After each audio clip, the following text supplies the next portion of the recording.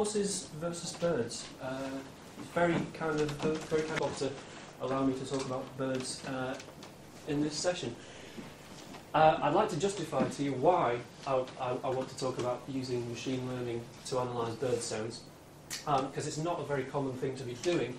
Um, in, in, the UK and elsewhere, birds, bird populations have been in serious decline since the 1970s. This is largely because of uh, land management practices, but it's also possibly related to climate change, and there's a lot of good reasons that we want to monitor this.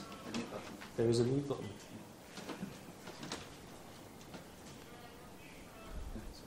It's, it's working. It's working, but we can't hear anything. Good. so, um, uh, yes, so there's, the, the, there's real motive to, to monitor bird populations. Um, and uh, we can do this traditionally. We can, uh, for example, use volunteers to go out and monitor birds. We can also, uh, that doesn't scale very well, we can also put, uh, we, we, can uh, put tracking devices on birds or just uh, identification rings. The problem with that is that it's intrusive and it can, it can affect the bird's behaviour in their lifestyle. The great thing is that birds can be most commonly observed by sound. So for someone who works with sound and computer analysis, this is a great opportunity. Um, much easier than uh, spotting birds by vision. So, uh, uh, fantastic. Here, here we go. We're going we're going to do birds instead of horses because you can spot horses visually quite easily. I'm going to talk about two main things. Uh, I'm going to talk about classification-based approaches to bird sound. That's not the only way you can approach bird sound. Um, the main things I'm going to talk about are bird sound detection. Maybe I will use a stick. I wonder if this suits give it a go. So I'm mostly going to be talking about bird sound detection and then about individual ID. Um, but before I get onto those, uh, just a, a, a, quick story. So in 2014, we, create, we created uh, an approach to automatic classification of bird sounds, so bird species. Sorry, this is um, uh, so the first thing we worked on, and we got great results. So this was in a test um, among 500 different classes, different species of bird from Brazil. Um, we got great results, quite happy with it. That gave us the confidence to go out and make an app. So, so this is available. It's called Warblr, and uh, this is at the moment it's for the UK only, uh, but it's it's really nice. So you record 10 seconds of bird sound, submits it to the system, and it tells you what bird it thinks it is. Um, and this, for us, it's a lovely tool for engagement in uh, nature, engagement with sound around you. Uh, and we have loads of people uh, taking it up. Uh, the unexpected thing is what your users do with the software you give them. Um, kind of encapsulated in this tweet, which is that someone tested the Warblr app on the squeaky office photocopier uh, and found out that there's either a willow warbler or a great spotted woodpecker inside. so uh, I'm, I'm going to emphasise that the app works works well for birds. It just doesn't work that well for photocopiers. But uh, we don't get to control what the user does with the, with the app. But you know that, that's a lesson for automatic classification and uh, what you expect at the inputs. Um, having made this, uh, this, this app and done this work on automatic bird recognition, I did get quite a lot of people coming to me who were ecologists, for example, or working for conservation organisations. They have a lot of need for this kind of thing. Um, in particular, because there's, uh, there's a large number of projects that have these automatic uh, recorders. You can't quite see it. This is, this is a little box with microphones on it stuck to a tree. Um, and there are plenty of these projects now that will record large amounts of bird sound, well, large amounts of environmental sound. They want to detect birds, they want to monitor which birds are in the, in the area. Um, so they can use off-the-shelf methods, but they're not very robust. Um, the, the worst thing for, from the practitioner's point of view is that they don't quite know how to take this uh, off-the-shelf algorithm and make it work for their case because uh, it needs all kinds of fiddling. You need to know uh, what it means to choose the number of states in a hidden Markov model, and for practitioners, it's actually really obscure how to um, take an off-the-shelf algorithm and use it for their situation. So inspired by that, uh, and inspired by some of our experience with bird classification before, we designed um, a challenge, a data challenge, where we publish data sets and we challenge research teams around the world to come up with um, a, an approach to solve the problem. Um, and this is for bird detection. Okay, so uh, I'm not talking about species classification now, but more like a, a binary classification task. If we've got some audio, are there birds in this little chunk of audio? Uh, and so what we did, this is, this is how you run a data challenge. You publish some data that people can use to develop or to train their algorithm, and then you have some private data that's going to be the data that they're going to be tested on. Their algorithms are going to be evaluated on. Um, for the uh, public data, we had some, uh, we had lots of recordings, mobile phone recordings from the Warblr app. We also had other crowdsourced field recordings. Uh, and the testing set was very different. So the testing set was from a remote monitoring project in the Chernobyl exclusion zone. So those boxes nailed to trees that I just uh, showed you, the recordings in the test set were from this kind of uh, scenario. So the training and the testing sets differ in so many ways. They differ in um, uh, the, location, the recording equipment, the, the species that are present are different. Okay, so dramatic differences here. The background sound is different, the class balance is different. It's, it's, it's justifiable to ask how is a classifier meant to do a good job at this? Especially when you think of like what is the class of bird sounds like? It's a very diverse, very heterogeneous class. Um, and it's a reasonable question to ask, but on, on the other hand, this is, this, is the, this is in practice what's going to happen. So we're going to have, uh, whatever you do with your algorithm, if it's going to be practically useful, you're going to give it to an ecologist and they're going to take it to somewhere where, for example, they don't know the class balance. This is the question they're trying to answer. How many birds are there in, in this particular forest? So, we tried to make a difficult question, uh, a, a difficult task, but with a common question. The common question between these two data sets is, given a chunk of audio, are there birds in it? Uh, 30 teams submitted. We got um, really gratifyingly good performance. So um, all of the stats I'm going to show you in this talk are based on area under the curve, AUC measure, which uh, we find useful for various reasons. Um, uh, 89% area under the curve is pretty good. And uh, there are some strategies that people use to, to, to, to make the classifier adapt to, to the new conditions. Um, actually, something that was particularly uh, notable from my point of view, so domain, domain adaptation, these are just the top, uh, top scoring teams. Uh, not all of the top scoring teams actually needed to use the domain adaptation. It's really encouraging because uh, it, it suggests that uh, to some extent, the, the general generalizability of these, these methods is, is actually getting there. I mean, it's, it's really uh, much better than I was expecting. Uh, it made me wonder why do we evaluate things using match conditions? It happens so much of the time in, in, in the kind of research that we do. Um, one thing we can argue is that it's, it's very useful to study the classifier's behaviour by sort of uh, excluding extraneous uh, factors. And yeah, great. Um, sometimes a practical application does have match conditions, so you might take this, uh, let's say we've got 500 hours of birdsong recordings and we can't annotate it all. But we, maybe we can annotate half an hour and then use that to annotate the rest. In that, that's kind of a matched condition scenario where the training set and the actual application might match. Um, but I'm kind of wondering if it's, it's actually, in, uh, in most cases, a more of a pragmatic thing, that it's difficult to get hold of uh, data sets that you can really th- that you can really do this uh, this mismatched, mismatched conditions testing on uh, reasonable. Or is it because the algorithms aren't good enough and you can't get uh, uh, you can't at this point in, in, in development get good enough results to, to really inspect them? And so with uh, the, the classic uh, machine learning workflow, you would you train, you have you validate and you test, and a lot of the time it's um, uh, the, the, the, the, testing phase is on data with match conditions. Uh, but really, I mean, there's, there's another step which is really testing, and that's uh, in, uh, that's often when you, you someone else tries to take your algorithm and apply it for themselves and finds that it doesn't get the 80 something percent area under the curve that uh, you uh, implicitly promised that it might. Um, wouldn't it be nice if we could do that ourselves? Maybe, maybe we should just encourage more ma- mismatched conditions testing in, uh, in the reporting of these things, so uh, so that we can get an idea of more of an idea of the generalizability.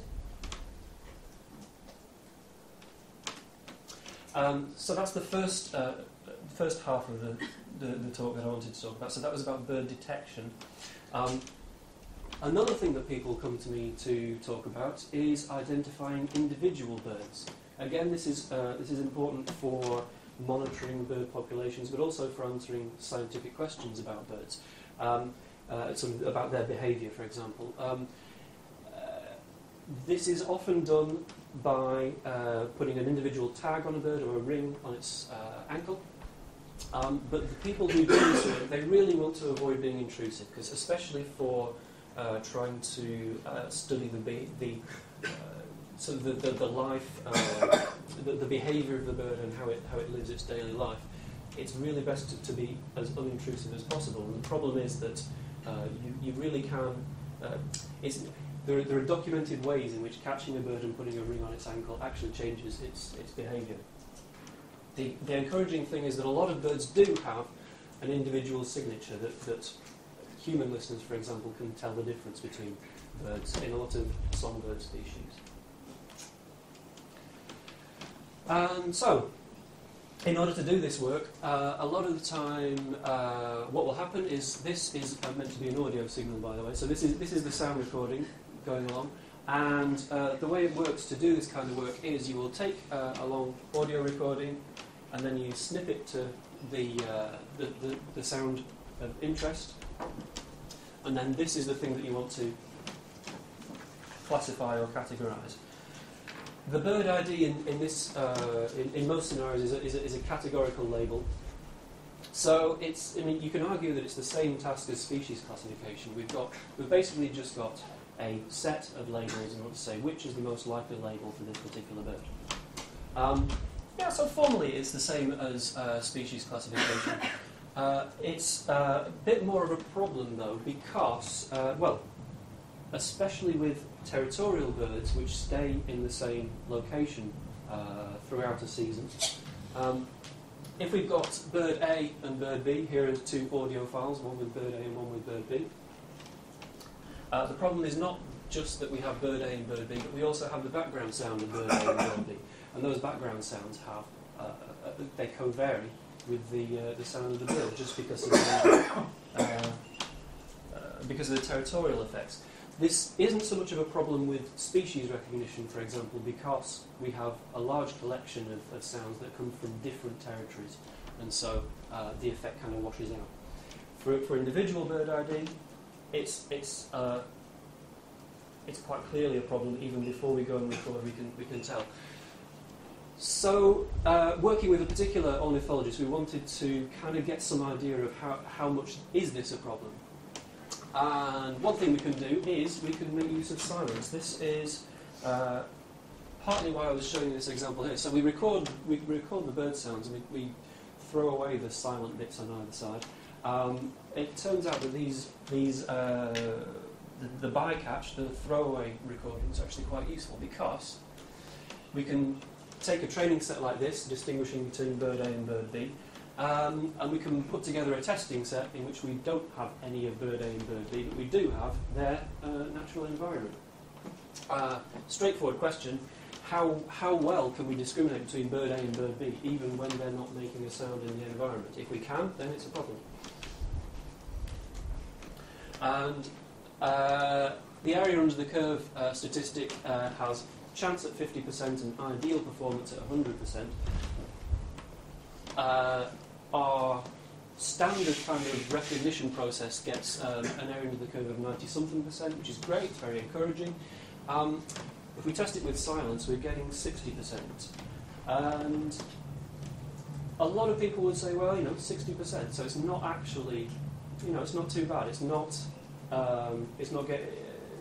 It, the difference between these shows that there is, uh, at least in the, uh, it shows in the standard scenario, that quite a lot of the signal or the information that's coming through is coming from the bird signal itself. At least we can argue that. Um, but but this, this sort of compo- this, this component coming from the science, we, it, it's a problem. We can't exclude this uh, the, the probability that if our bird classifier is going to is, is firing saying here's bird here's bird B here's bird C, we really want to be sure that, that it's, be, it's because of that.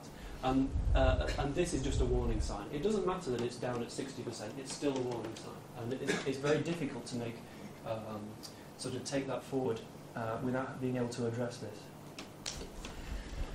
Uh, so, is there a horse?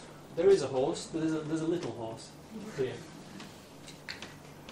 Um, there's an analogy which some of you might be familiar with, which is in music information retrieval. If you're trying to uh, detect, if you're trying to tell, if you're trying to identify the artist of a piece of music, the training set you might have Madonna and Michael Jackson. Um, take a single of those and a single of those, and then in the testing set, if we can identify Madonna and Michael Jackson, then yeah, maybe it's doing well. Maybe it's actually identifying the artists themselves.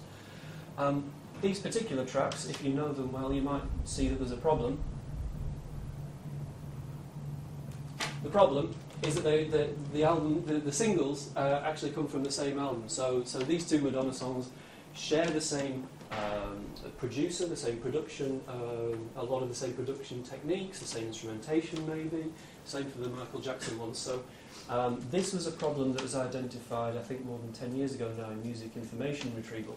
Um, uh, and it, it was, uh, once this problem was spotted, the, what, what was uh, believed to be the, the recognition accuracy and artist identification suddenly sort of fell off a cliff because if you can filter out this effect, you find um, that uh, it's taking you into horse territory and uh, uh, not, not uh, yes, not doing what you expected.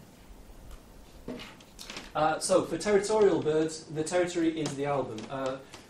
Uh, what I'm going to show you here, just the a, a, study with different birds, but I'm just just concentrating on the purple lines. The, the upper purple line, getting accuracy of 90 something percent, is when we take um, a, bird called the chiffchaff, and we're, identi- we're classifying between, I think, 12 different individuals.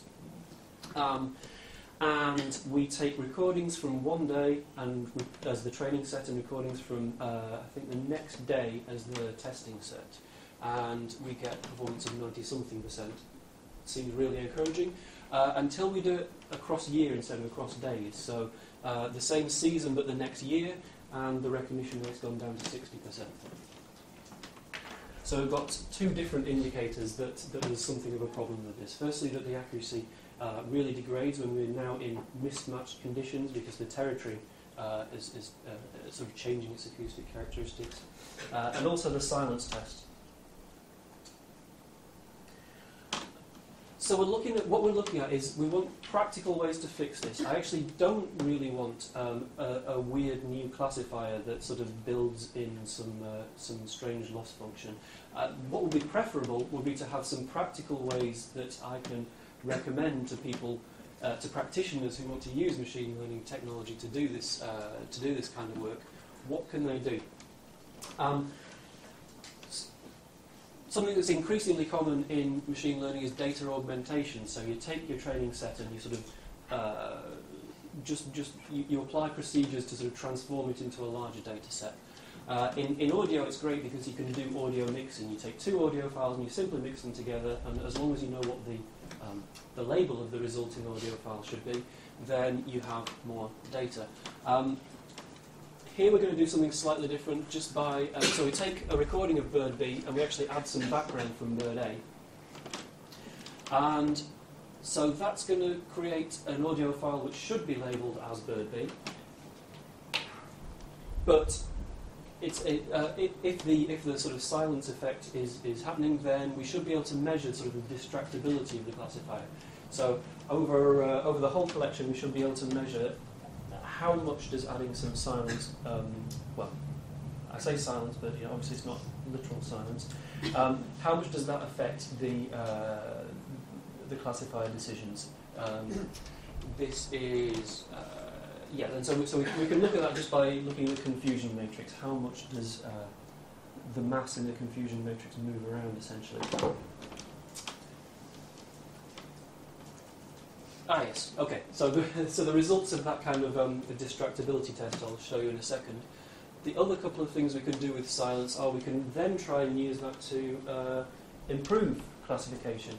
And by data augmentation in the training set. This is pretty common, but in, in, in this uh, in this work with bird sounds, it's it's, it's just handy that we have uh, So for bird B, we have some background from bird A, we have some background from bird C.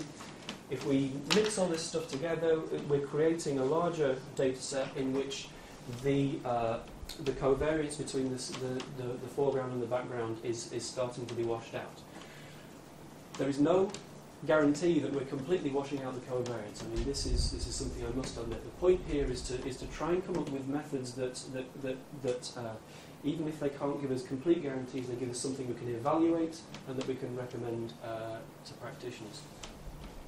So, we're making a larger data set in which there is uh, reduced uh, covar co covariance from the confounds. And finally, the other thing we can do with silence is actually classify it as being silence. Okay, this is uh, this is straightforward and pretty obvious. Um, but if we take if we take all of these things and just put them all into one pot and say this is a this is a, uh, a wastebasket class that just contains silence, that's straightforward.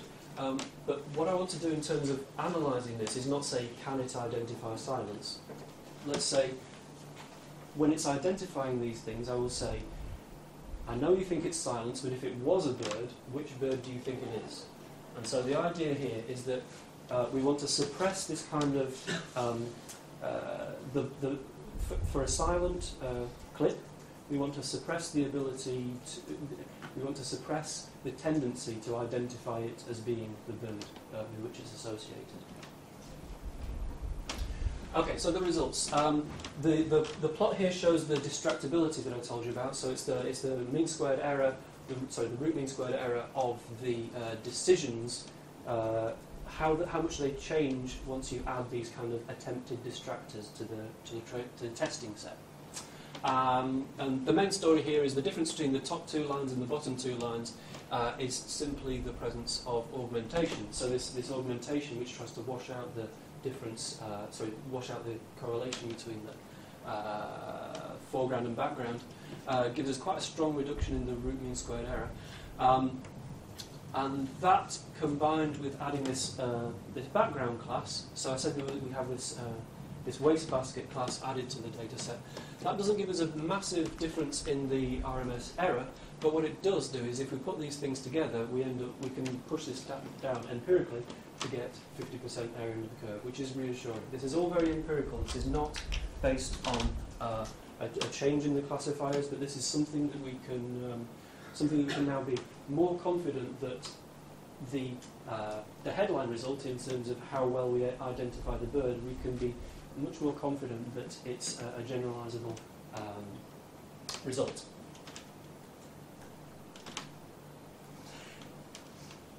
So, to conclude, uh, as I said, bird sounds outdoor are difficult to analyse, partly because of all the other factors going on there, and partly because the, uh, the, the, signal itself is really varied and very hard to uh, sort of define the edges of the, of the class. Um, it's difficult for black box machine learning, and it's an open question how far we can go with it. Um, I've talked about two things in particular. Um, the bird audio detection challenge, where uh, we really uh, we, we, got large benefits from testing things in, in strongly mismatched conditions. Um, very satisfied with that. Uh, and then the second part was recognizing individual birds, where we found that silence was surprisingly useful for audio recognition. Um, stepping back a little bit, I'm very uh, be interested to talk today about um, uh, the pros and cons of matched and mismatched conditions in when you're evaluating uh, algorithms and, and procedures. Uh, and finally, just to thank the collaborators, so they're listed above for these two projects, uh, and also to thank the Machine Listening Lab, who uh, Bob mentioned earlier. is that's the context within which we're doing this work. So, thank you.